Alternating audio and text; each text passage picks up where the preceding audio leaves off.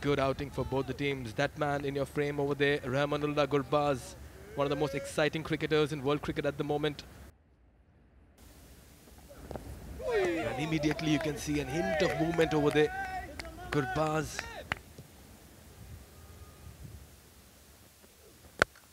Again, this time Fuller looking for the gap. And Gurbaz find the gap to the cover area and runs away for four runs. What a wonderful shot from Gurbaz. A bad delivery from Klaassen. Oh, this time he goes over the infield, over mid-off. And Gurbaz finally breaks the shackles. Much needed four for him.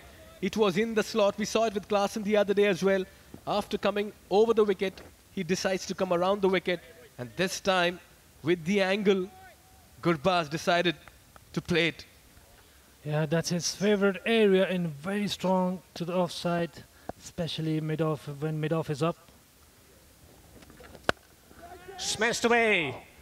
Airborne shot, a fruitful one.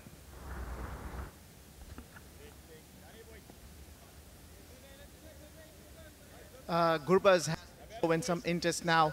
Since the eighth over, he's loosened up and uh, he hit a four in the previous over. And once again, greeting the bowler with another four coming down the track. That's his trademark. Misfield. And we'll pick up a boundary.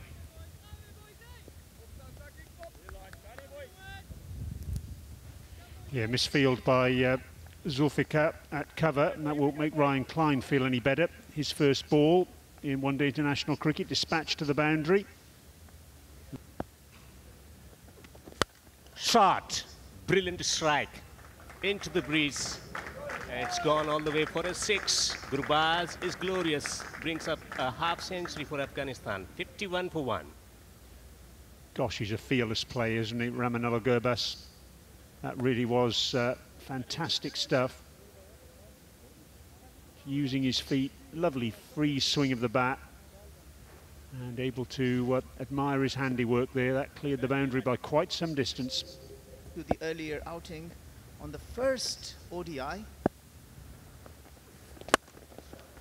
Goes big this time. Fielder giving chase, but he'll have to give that up. That's because it's a home run here by Gurbaz. What a shot. I'll tell you what, he's paced this innings of his exceptionally well. Shown a lot of maturity. And the way he's paced his innings needs special mention. Stand and deliver, presenting the full face of the bat. And he gets maximum.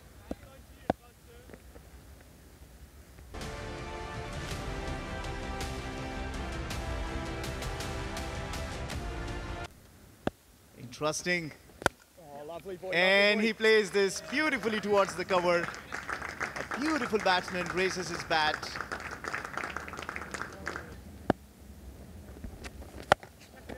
This time down the wicket. It's a maximum. What a shot for Gurbaz. Six runs. Nice and clean hit. Knows the nature of the surface, looking to take on. Hey, The spinner coming down the pitch. Off spinner with ball coming towards him. Decided to go.